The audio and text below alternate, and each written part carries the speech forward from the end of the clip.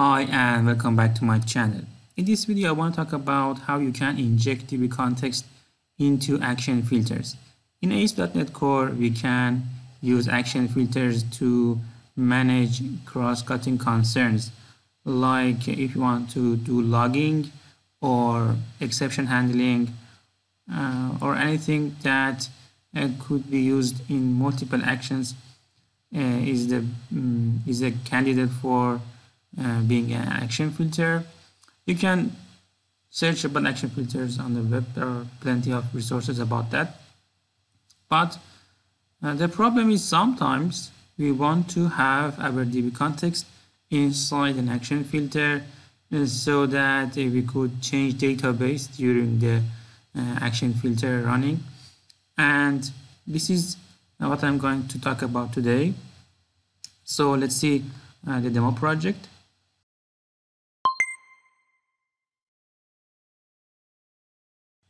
So I have a simple blog system and what I want to do is when a user comes here and clicks on details uh, I want to count the number of times each post is being viewed. Of course in a real project uh, this is a link in a website in, in the main page and user clicks on the post and views the post uh, but you are not, not going to mm, be concerned about the UI design and that part of the project. Uh, suppose there's something like a landing page and you're going to click on pictures or links and with a description and then uh, the detail page is going to be showed to the user. So uh, what I'm going to do is uh, with uh, each time this details page is being shown to the user, I want to and count it and add uh, this its value on database. So there are a couple of filters that you can use inside your MVC projects. I'm going to build a result filter and you can see that a result filter runs before and after a result being generated in your ASP.NET Core project. So I have my details page here and inside I have an on get method. And this is creating a result for us which is the page user sees. And uh, I want to create a result filter to run some code after the result is ready uh, so that I can count the number of hits for each post I think it's a good place to put the um, statistics because um, I'm kind of sure that everything went fine. There were no problem uh, to page being rendered. And the page is actually ready for the user to see. So uh, we can actually count that as a hit. But also maybe you would have different solution like uh, you could have uh, an Ajax call inside this page and use JavaScript to asynchronously count the page hits. And that's a good idea maybe a better one but we want to uh, keep everything on the back end and uh, work with C sharp. Uh, and of course this is a demo project. I want I just want to show you how you can inject DB context I'm sure that you could find different use cases for this scenario. So let's go on. So typically uh, you would create your filters inside different folder, but let's uh, come here and create a public class and call it hit counter attribute and let's inherit from result filter attribute. So I need to add using and now I can override some methods inside this attribute. So now let's override some methods. And I want to change the OnResultExecutionAsync because we are using a database uh, it's better to use async methods. And this is how you basically use the async part. You need to await for the next. Let's add async. And use await next. And any code that you write in here runs before the result gets generated and any code that uh, you write here runs after. So if I have something like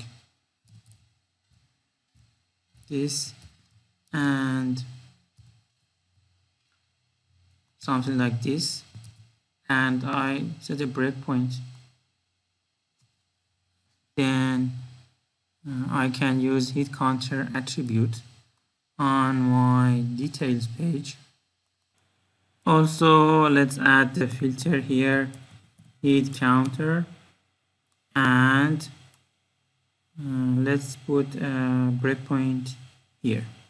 So this attribute makes sure that our result filter runs before or after any results being generated in this page. So let's run the project in attribute in debugging mode and see the result. So let's log in. And I go to details and you can see that um, the page is running. And now we get to this part and now we await when next runs your page gets generated and result gets ready. And after is that is done it comes back to this place and goes to this line. So uh, you are managing two parts of the event before and after in the same method here.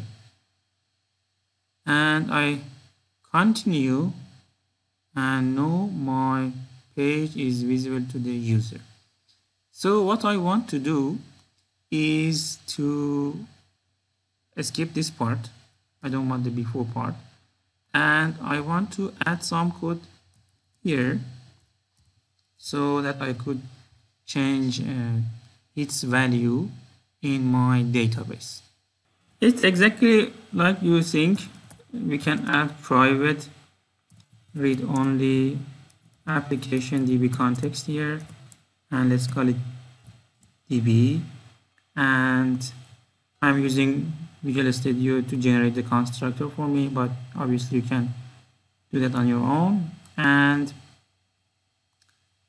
Mm, now let's find the ID for now I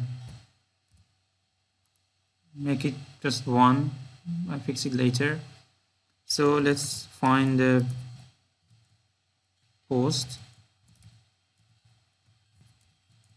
with the ID and I can use async because I am inside an async method. And that would be that would be the post for us. So let's add one number to our hits. And then let's save it in asynchronous way. Wait.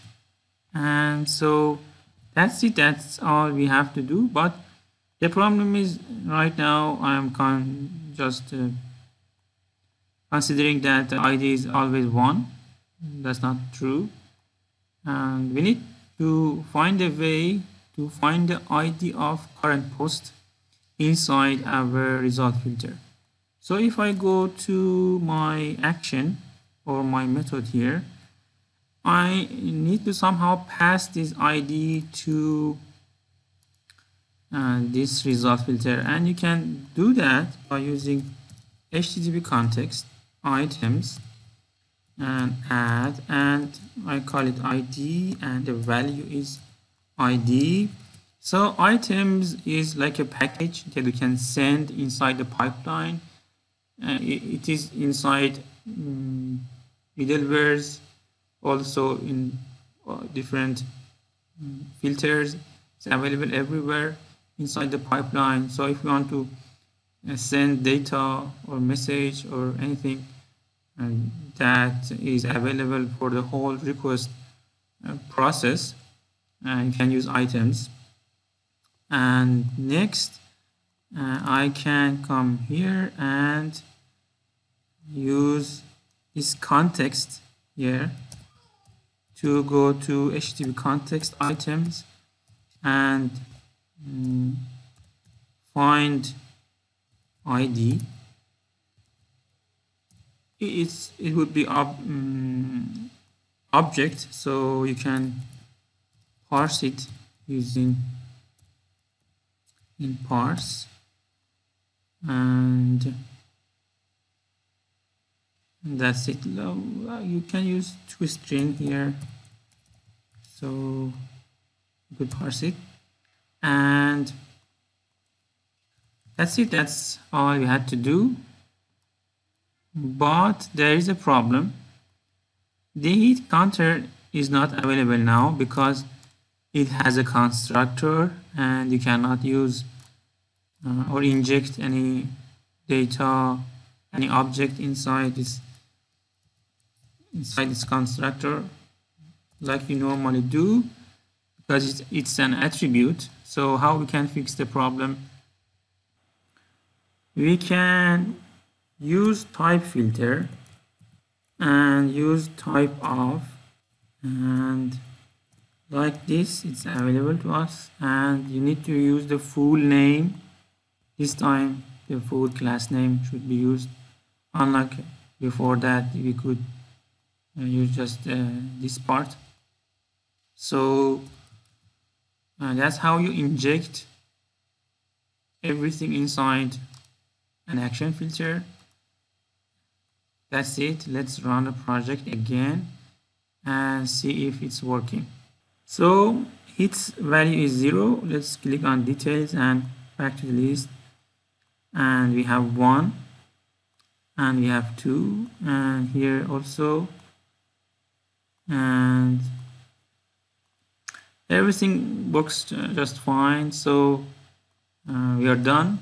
We could inject a DB context into a result filter and inject the attribute uh, using type filter. And that's it. That's uh, what I want to do. And you could uh, see that we can pass data using HTTP context.